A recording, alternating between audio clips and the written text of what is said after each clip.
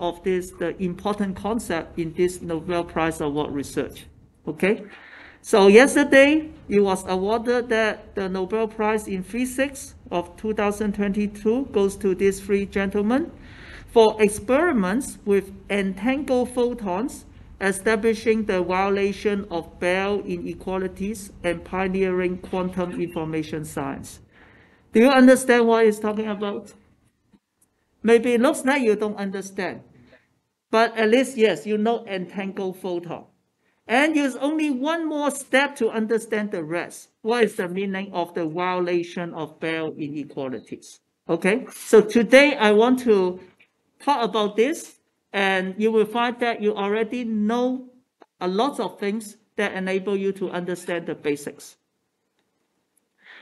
Let's review what we did for entanglement before, right? And here I, I am very good in advertisement. Now I put the QR code. You will go to the video that we learned about entanglement earlier, right? If you forgot about it. We say that, for example, here, can anyone explain to me what is this? This is a how many qubits? Two qubits, right? Because we see that it is written in this way, and it has four basis states. In this particular case, I have one state, which is a linear combination of these four basis states.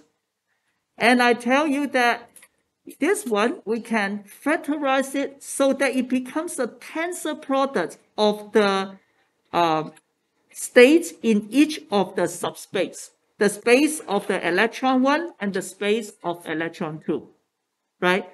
And now you mm-hmm. understand what is a tensor product. It's just like a multiplication. But basically, this system, which has two electrons, can be described individually by the properties of this individual space, which form, which then go through the tensor product. That, that is okay, right?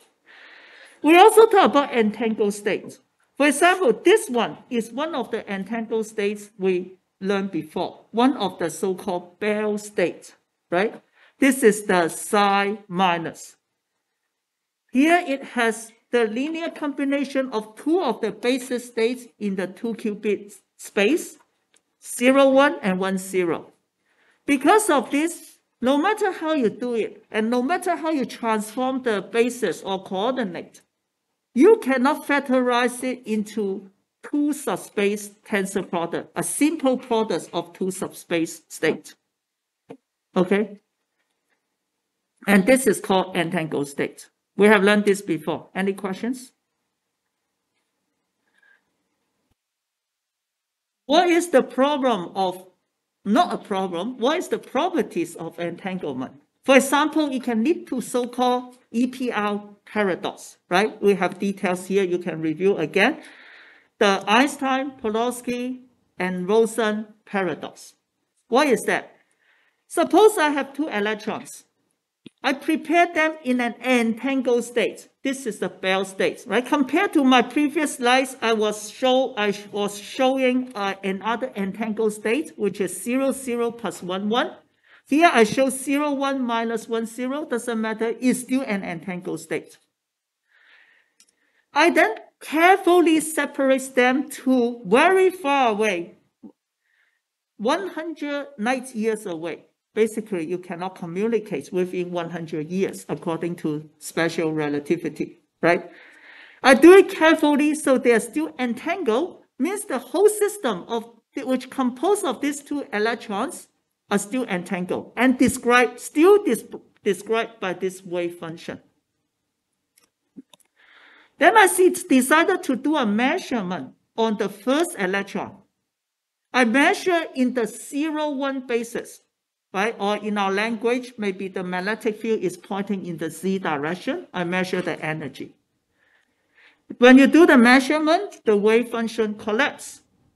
Because this is in a superposition, it may collapse to zero or one. We have 50% of getting zero, right? Assume that we get zero for electron one. Then the whole wave function will collapse to zero, one. I have uh, some typo I forgot to change. First of all, this should have the bracket and this is zero, one instead of zero, zero. should be zero, one, because my example last time was zero, zero. It will collapse to zero, one, right? Why? Because the whole system is a linear combination of zero, one, and one, zero.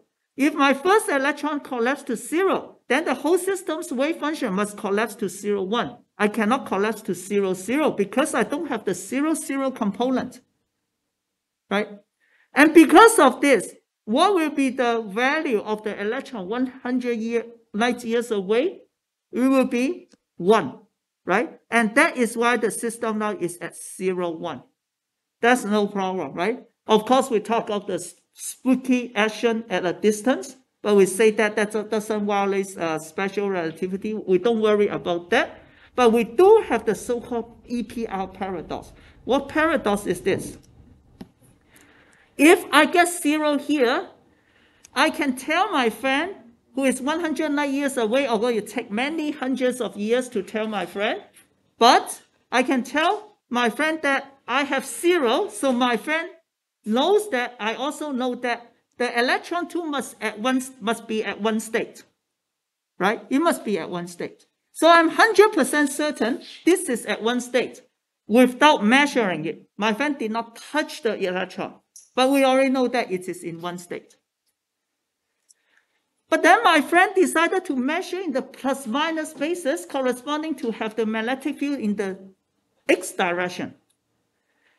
Then it will collapse to either plus or minus, right?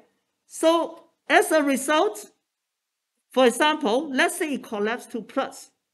Then it also means that my friend is 100% certain the electron is in the plus state. Right? For these details, you can also take a look in the old video. Right? If you forgot why, we can have plus because uh, one is a linear combination of plus and minus. Right? One equal to one over square root two zero um, uh, plus uh, one. Right? So what does it mean? I'm 100% certain it is in 1. At the same time, we are also 100% certain it's in plus. That violates the Heisenberg uncertainty principle.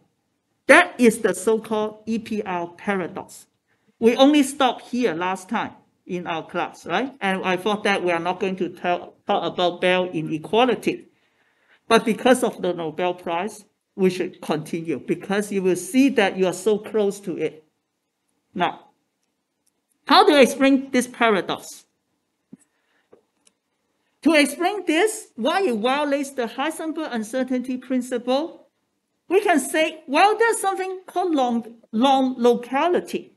Maybe the measurement of electron 1 affects the measurement of electron 2. Somehow when I measure electron 1, it sends a signal to electron 2 right away due to some physics.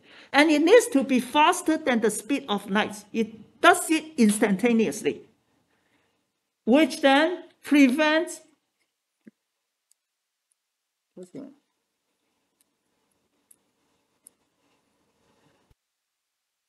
Yeah, I don't know what's going on, but you can see it now. Okay.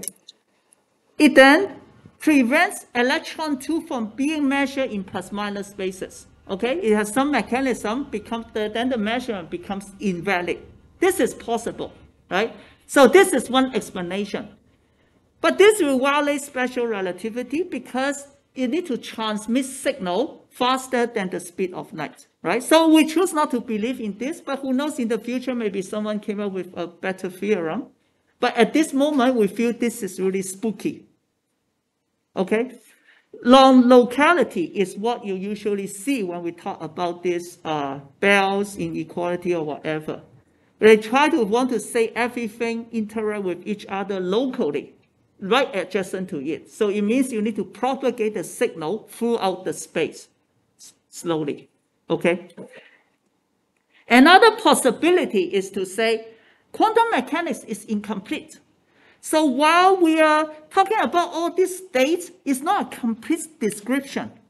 It is incomplete. There are some hidden variable to describe the state. But we just still don't know them yet. We are not smart enough. We still don't have the theory to describe it yet, but maybe there's some hidden variable. And that's why you have this paradox.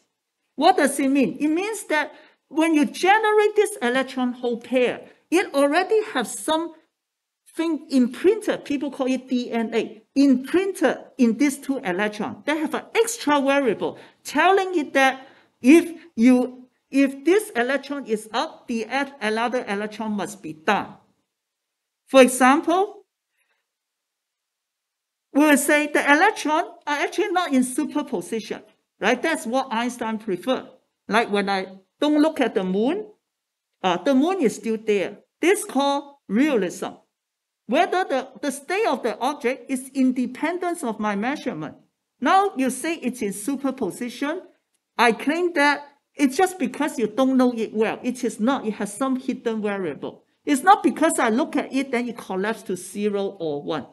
That is one thing. And also it can be fully described by the hidden variable. For example, electron one can be in one of these states. Look at this. Instead of at zero and one, or superposition of zero and one, electron one is definitely in zero plus the hidden variable, which is plus, or zero plus a hidden variable, which is minus. Okay, it's in one of these states. This is a one qubit state. I'm not, I'm not talking about two qubit. One has zero and one has plus. I just say that this electron, while we see is zero, actually is zero plus one, a hidden variable plus there, right? But we just, our quantum mechanics just not good enough to describe it. We cannot, we are not able to describe the, find out the uh, hidden variable yet. Similarly, the electron two can be in these two states, these four states right? So for example, when I prepare electron in zero and one, then they are in this blue group. Then you, you might have a first electron at zero plus, second electron at zero at one minus. Then uh, you just let them uh, go to two different places. Then when I measure the electron, I get one, I get zero, then the other one must be one. And also, or maybe it was prepared at the green pair, pair. When I got electron one equals to one, then the other one must be zero because it's be predetermined, just like a graph. I have blue and yellow, I put them together. If you get yellow, I must get blue. You get blue, I must get yellow. And in additional to that, I also have some hidden variable. And you see that I have 50% of the chance to get plus or minus if I measure in the plus minus basis. This is not the quantum mechanics we have been learning, so don't feel confused. Say, try to map to what you are learning. Okay? So this is the summary. If both measure in zero one basis, right? The uh, the one on Earth, the, the one on uh, 190 years away, you will always get opposite. You get zero, electron two get one. If electron measure to be measure electron one measure to be one, electron two will be measured to be zero. But if People choose to measure in plus minus basis for electron 2. No matter in which cases, I have 50% of chance to get plus or minus. This kind of explains the EPR paradox result if we assume there is hidden variable. Okay? Yeah.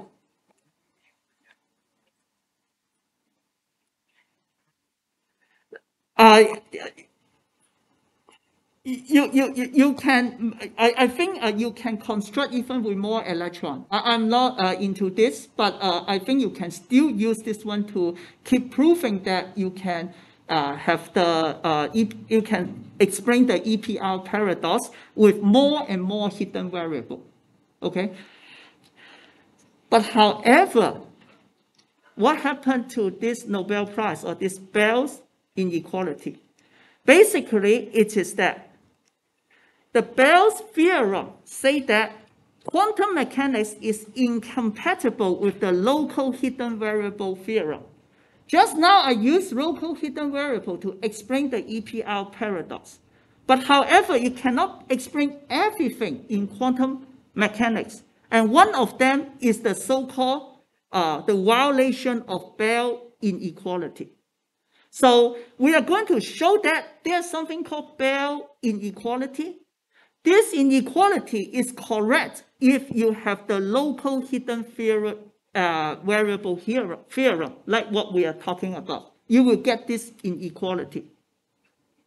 But we will show that in quantum mechanics, you actually is going to violate the Bell inequality. Okay? Now, that is the theorem, right? In theory, I'm going to show you that indeed it violates because we have the theory. But you need to prove it experimentally. And that is what this Nobel Prize about. They have conducted different types of experiments to show that the Bell inequality is violated. And thus, Bell's theorem is correct. And thus, local hidden variable theorem or this low hidden variable explanation is wrong, incomplete. So basically, it brings us back. We still don't know why we have this EPR paradox. We only show that this is wrong. Then maybe the, you can transmit signal faster than the speed of light, or you need to further discuss philosophically or come up with a new uh, uh, theory. Okay, so in summary, that is what about the Bell's theorem. And the Nobel Prize is about they did the experimental work to prove that Bell's theorem is correct. And Bell's theorem says that the Bell's inequality is violated in quantum mechanics.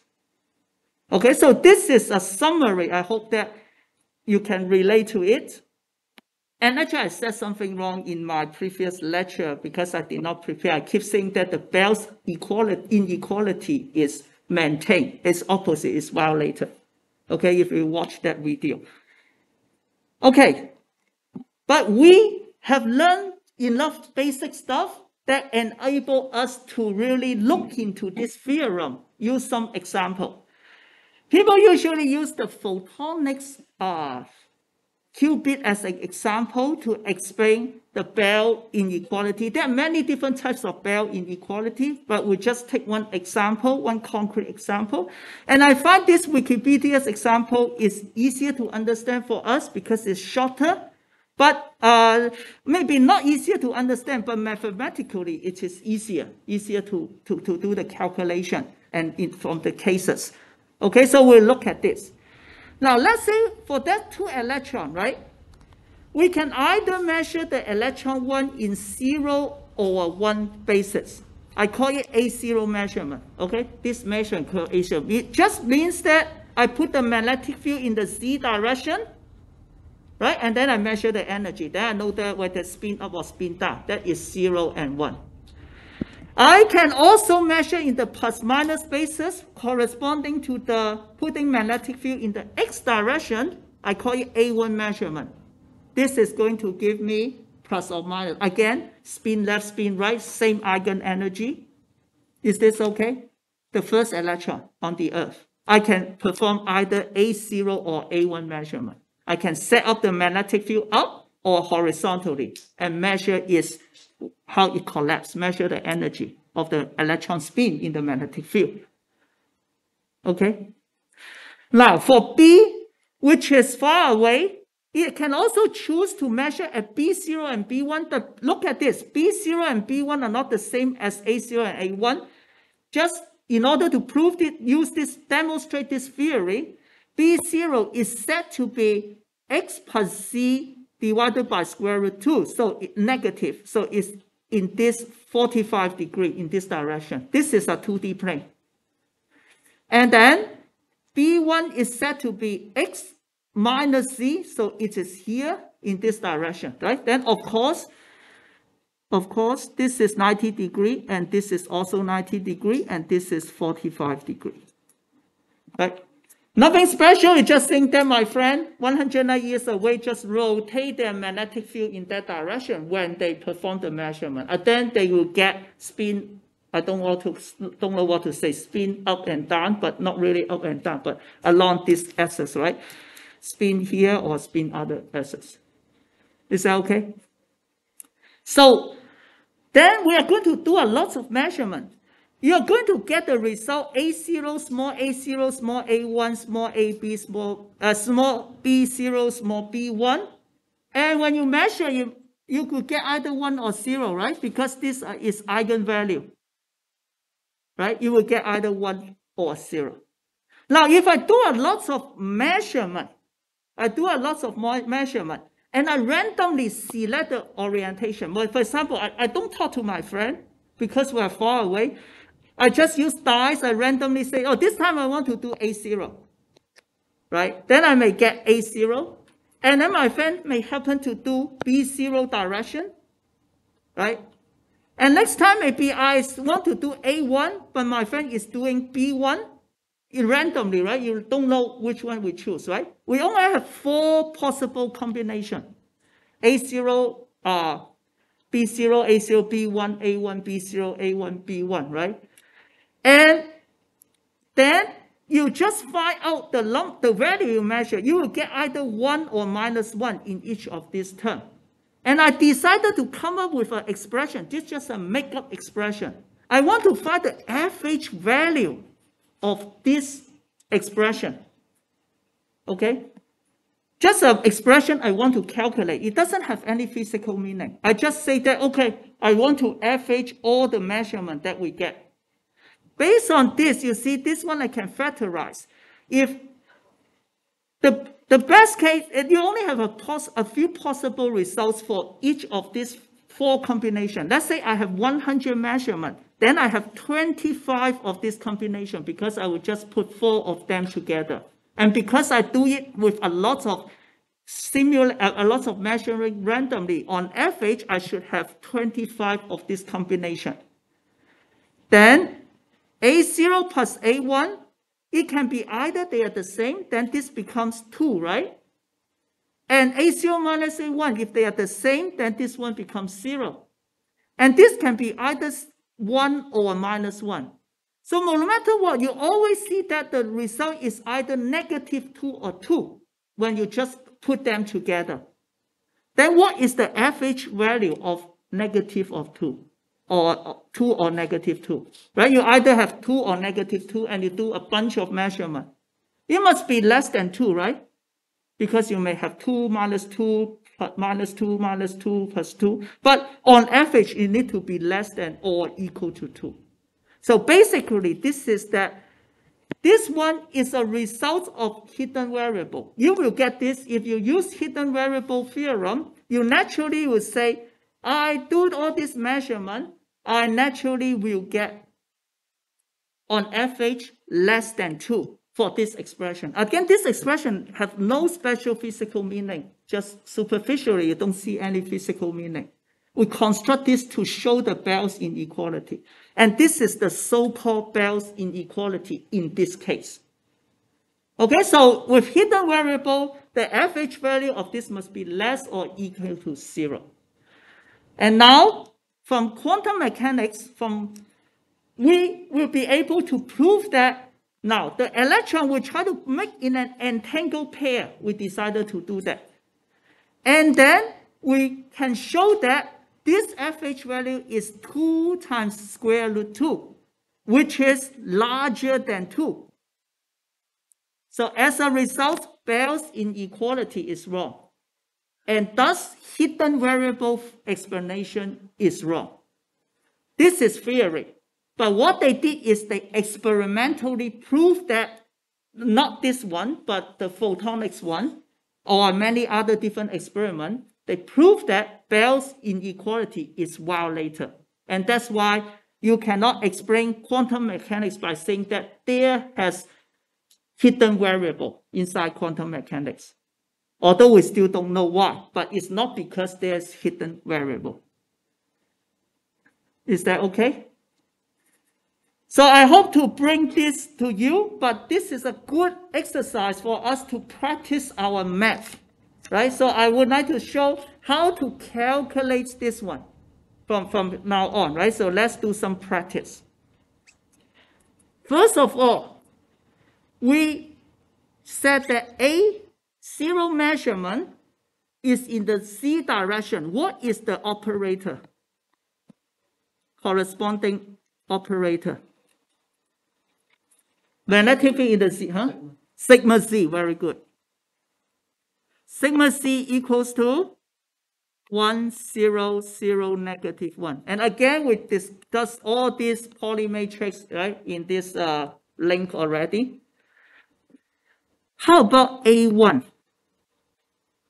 It's in the x direction. Sigma x, very good. Which is 0, 1, 1, 0, right? Now, what is the matrix for B0 then? Do you remember how to find it? This becomes finding the operator the, uh, of, of the spin matrix, right? The spin matrix in a direction corresponding the, to the real 3D space direction here, right? Do you remember how to find that, the equation? Do you remember the equation? This one. Does it ring the bell? N is the unit vector in the 3D space, signify the direction of the magnetic field. And sigma is the vector or the Pauli vector. Remember that?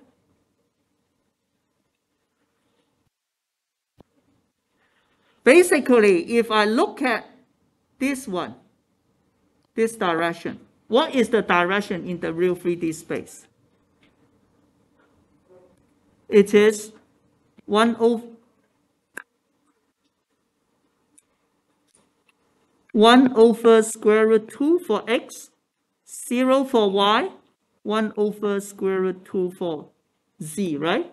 That is the unit vector in this direction. Actually, I make a mistake. It needs to be negative. Do you agree this is the negative x minus z unit vector? This is xz, right? This is x, right? So this is negative x, this is negative c. So this is negative x plus negative c. Make sense? And what is the sigma vector? Do you remember? Sigma x, sigma y, sigma z. Okay, so you do the dot product, what you get is 1 over square root 2 negative sigma x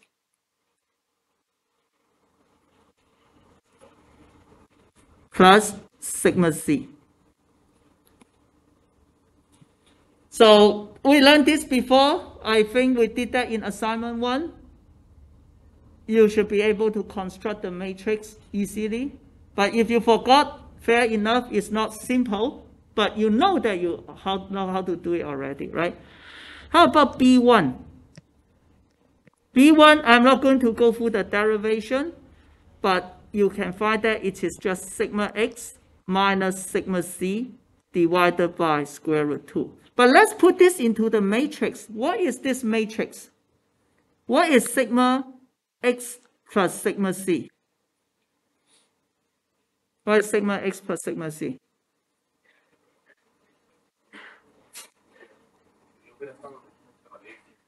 Yeah, just A0 plus A1, right? Sigma, what is that? 1, 1, 1, negative 1, right? You just add these two together. How about this one? What is sigma x minus sigma z?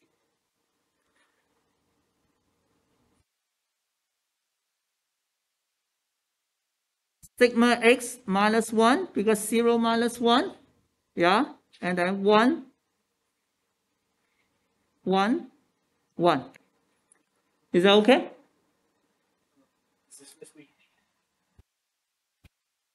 Say again. One negative one over root two. This is that's right. Yeah. Because B1 is in this direction, is x minus z, right? Okay. So we can construct the matrix, right? So after constructing the matrix, then we want to understand, okay. how to do the calculation. So my goal, right? My goal is to calculate the this. What is the meaning of this then? A0 tensor product B0, right? What is the meaning of this? A0 is the operator tensor product B0 because we have two electrons. A0 is for the first electron, B0 is for the second electron. And you do the tensor product, it becomes the operator for the two qubit system. Okay? But what is the meaning of this bracket? It's just a simplification. It means we put, what do we do? We put psi minus to it. And then now I, I'm not going to write down the tensor product symbol to make it simple. That's what it means.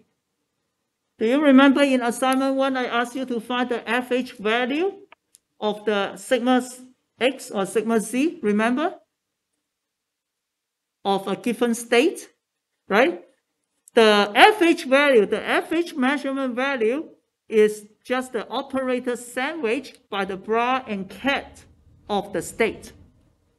That signifies what is the FH value I will measure under this operator.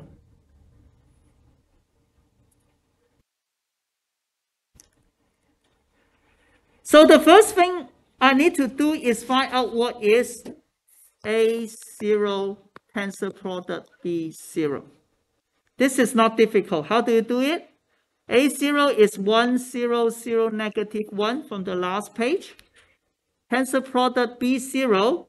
B0 is a little bit more complicated, but we calculated it already. It is negative 1 over square root 2, 1, 1, 1, negative 1. Right? I just show you. This is the B0, 1 over square root 2, 1, 1, negative 1, and A0 is just 1, 0, negative 1. How do you find the tensor product of two operator. Yeah, 1 times 1, 1, 1 minus 1, 0 times 1, 1, 1 minus 1, 0 times 1, 1, 1 minus 1, 1 times negative 1 times 1, 1, 1 minus 1, right?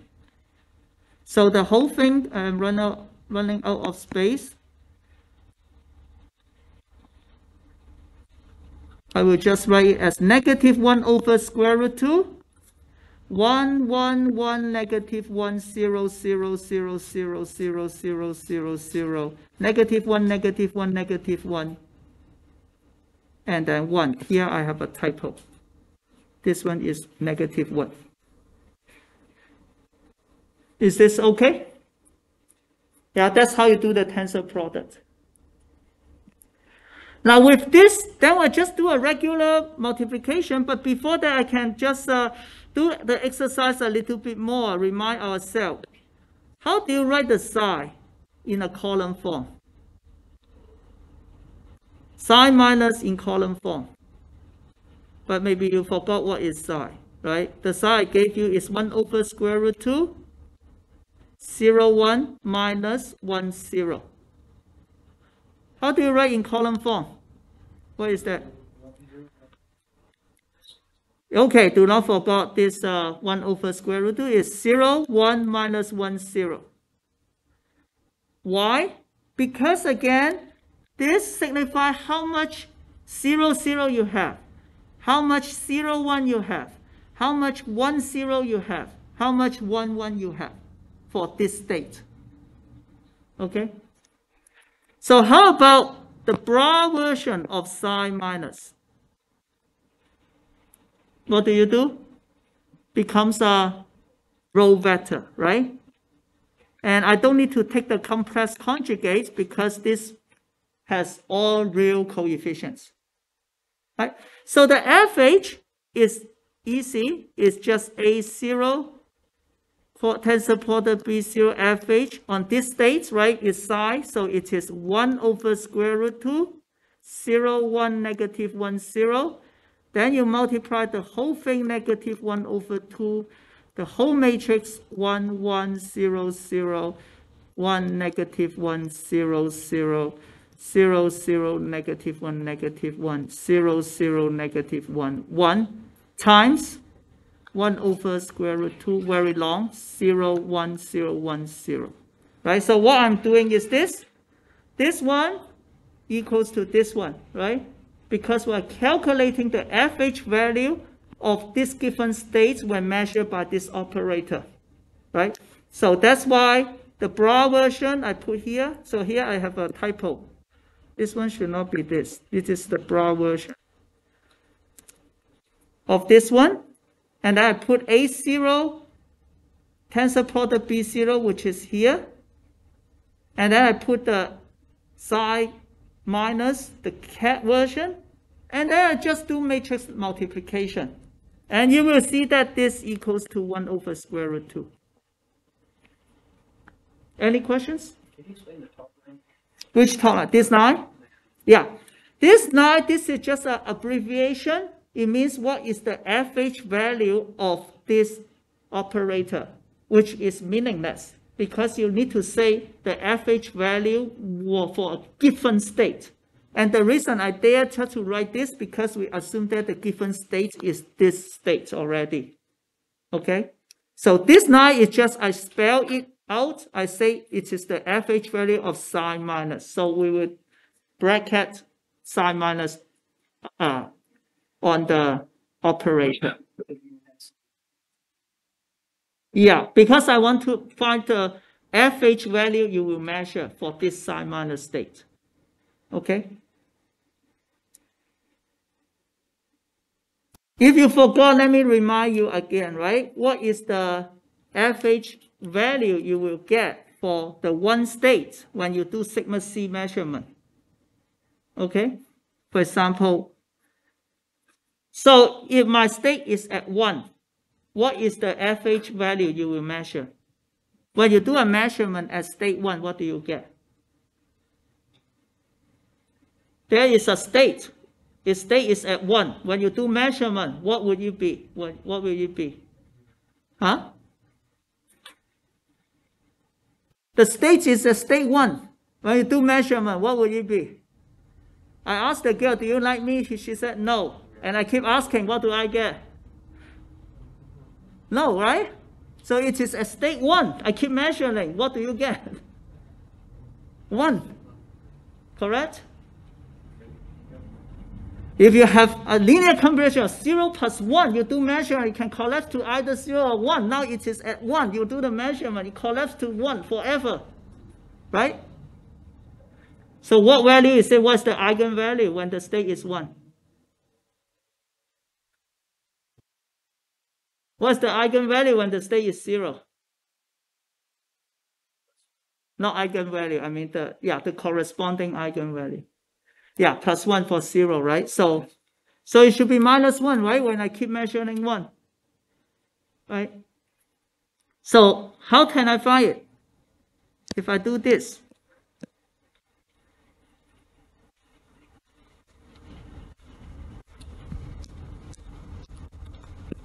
This must be negative 1. Because no matter how many times you measure, I must get negative 1. This is the average value I will get. But in general, you might not get, might not have 1, right? You have alpha, beta, right? And this is easy to prove because 1 is 0, 1. Sigma Z is 1, 0, 0, negative 1 and this is one, uh, this is zero one because it is one. Right? So what do you get? You do the multiplication, you get zero, negative one, and then you do one more multiplication, you get one, right? Negative one, right? Just to show that a, a special case, yeah, this one gives me the FH value. But if you have alpha beta, it's not zero one, then you will get the alpha beta. That is what we had in the assignment, isn't it? Alpha squared plus beta minus beta squared. Do you do it yourself? Yeah. Re remember? Remember I asked you what is the FH value you will get in sigma Z and I asked you to think from the classical point, probab probabilistic point, and then use the use the equation right? So this one is the average value you will get for this operator for a given state. That's why I write in this way. Okay? Now, then I will not do the rest. You need to do at the other computation yourself. Maybe we can put it in the midterm.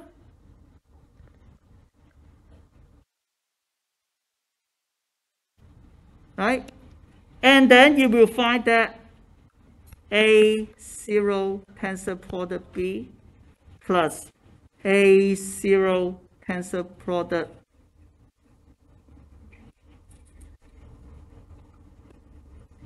B1 plus A1 tensor product B0 minus A1 tensor product B, what is that? B1, right? This is equals to 2 square root 2, which is larger than 2. So here I show you that in quantum mechanics, you are allowed to prepare an entangled pair. And then you find that the probability, I mean the average value of this expression is 2 square root 2, which is larger than the 2 given the boundary, given that the Bell inequality based on hidden variable. That's why the hidden variable theorem is wrong, cannot explain. Right? The theory show that that's okay, but if the theory is wrong, of course you get wrong stuff, right? But they did the experiment. They showed that indeed Bell's inequality is violated. And thus, we cannot explain quantum mechanics in the um, using hidden variable. Yes.